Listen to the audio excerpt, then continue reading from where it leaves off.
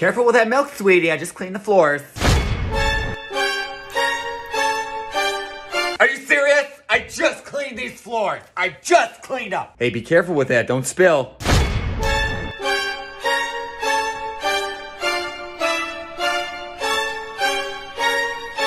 Don't tell mommy. Okay.